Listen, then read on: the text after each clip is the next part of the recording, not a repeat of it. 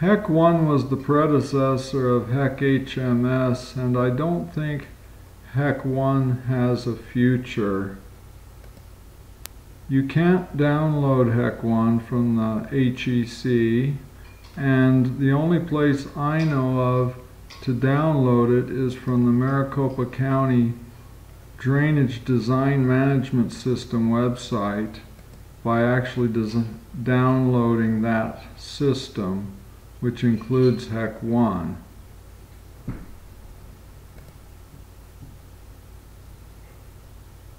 Even DDMSW is not very Windows compliant, and if you install it, it goes by default to an FCDMC folder in the root of your hard drive. And the HEC1 executable, which is an old DOS program, goes under FCDMCST models right there. Since it's an old DOS program, it really expects to be run from the command line, and the easiest way to do that is to write a little batch file, and this is the way HEC1 is run. I have the full path to the HEC1 program, and then a space, and then I tell it that the input equals this file name base dot dat. Then I put a space and I say the output equals the file name base dot out. And for basic use, you don't need to worry about DSS, but you can put it in your batch file. And then a pause so that we can see what happened before the command window closes. I'll show you how it works. I just double clicked on Borgers.bat and you can see HEC1 running in this little window.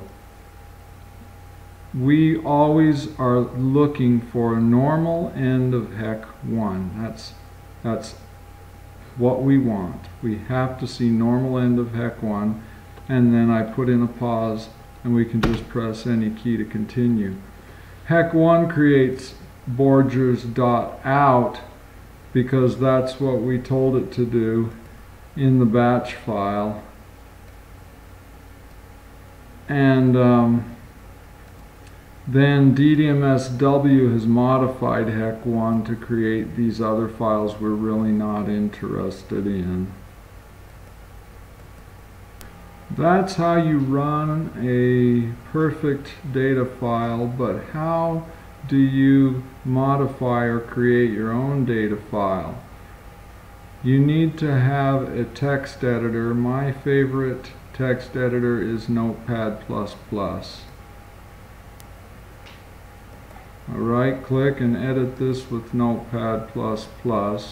And the first thing you need to understand is that HEC1 is expects a data file that has spaces, not tabs. Every little orange dot here is a space, and it won't work if I replace that with a tab. The other thing you need to know is that HEC1 thinks of this as having 10 columns, 8 characters long each. And it just kind of squishes the first two letters into that first column. So your columns are right justified here. They don't have to be, but they are here at up to 8, then up to 16, then 24, 32, all the way to 80 for 10 columns of 8 characters wide each. You can just eyeball that or you can create yourself a little ruler that I will do once I pause like this and these zeros represent column 10. Now pay attention closely because this will get you down and in a loop. You cannot have any blank lines in the file. If you want to pretend like there's a blank line, it must be a comment line that starts with an asterisk or normally an asterisk and a space. I'll read through this short file with you briefly and then we will go to the user's manual to see how you can help yourself. You can put as many title lines as you want. They are called ID and it just looks tidy to have a space but it's not required. Then we tell HEC1 to make a diagram of all the operations and operations are things that start with a KK and we give it our time iterations and uh, how many minutes and how many of the iterations we're going to calculate. We give it an input output level information, the increment to use for any tables which of which there are none in this model. So that's a vestige from some other model and then we put in whatever we need for each operation. And in this simple file, there's only one operation. We see a KK1 and nothing else. There are really good conventions for naming your operations. I will go over those in a different video. HEC1 knows that this is a subbasin operation because it starts with a basin area that can only be one thing. Then for the first one we give it some sort of precipitation and this uses one of the precipitation methods in HEC1, the hypothetical. Then we have a loss method so that we can get only rainfall excess after the losses and this is the Green and Ampt loss method. Then we have a unit hydrograph method or a rainfall transformation method, and this is the Clark unit hydrograph method, which has as a part of it a unit hydrograph area contribution um, series, which makes what I said earlier wrong. There is a time series. Every 15 minutes we tell how much percent of the watershed has arrived. The key to all of this is the HEC1 user manual and interestingly enough it is available at the HEC website. And here we have found the LG record key. The, the way to find this would be just to do a search for LG record and we find out that it is the Green and Ampt loss rate um, rainfall loss operate um, parameter and that column 1 and 2 are the ID for the line and that they need to say LG and then column 1 the rest of column 1 is the initial abstraction and it either has a value for how much loss is for the initial abstraction. Two is the moisture deficit. Three is the wetting front suction. Four is the hydraulic, saturated hydraulic conductivity. And five is the ratio of impervious area. And we can sometimes help ourselves in data files by putting those as our little cheat sheet right in the file. Initial abstraction, uh, moisture deficit, wetting front suction, uh, saturated hydraulic conductivity, and ratio of impervious. The four basic kinds of HEC1 operations are subbasin, combine, route, and divert, which is not shown here. You can use a sample file to see how to do the operations you want to do or you can find examples in the HEC1 manual, though it's a little bit hard. In the basic sense, you just pick an upstream subbasin and start listing things and hoping that they all fall together okay. You say, we're going to do subbasin A, then we're going to do subbasin B, then we're going to combine them. That'll give us a hydrograph we will route it. Then we'll jump over and add subbasin C. Now we'll combine two, which will combine this hanging routed hydrograph with the subbasin C we just computed. And that's how you go. You just go down, you leave hydrographs hanging, you add new ones, and then you combine. Like we can see in this example of the diagram that HEC1 creates for us. We have a subbasin S15, we divert it out with DDS 15 which is later brought in. But for now, we take that DS15 and we route it, calling it RS15. We jump over and get subbasin S13 and then we combine those. Then we route, route that and we route it again for some reason. Then we divert some of it out. Take the remainder Hold on to it while we calculate W1. Combine them.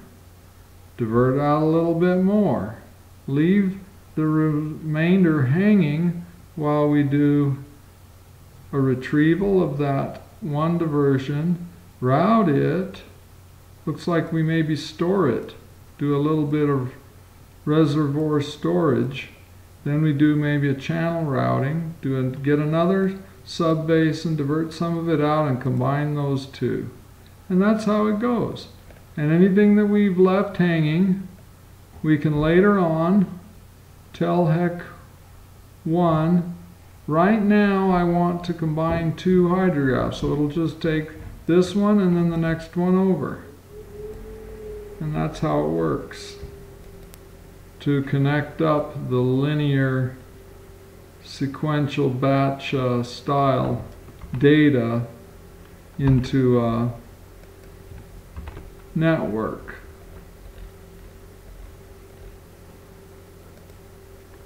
Now let's suppose that somebody told us they don't like Green and Ampt losses and they don't like Clark unit hydrograph. So much for all this and so much for that. We know we need losses. We know we need some kind of rainfall transformation. So let's just leave those in there. Then we have to go to the HEC 1 manual and search for SCS, and I found that they call it SCS Dimensionless Unit Hydrograph. And what do you know? It's a UD record. So I can just look for UD record and find out what I need to do. Maybe I should have done the losses first. I have found the UD page and it tells me that I put the lag time in column 1 and that's all I need. Maybe that's why people like it. So I just go here and I put a UD and use my little cheat sheet and go back and it says that is in hours so I put a half hour.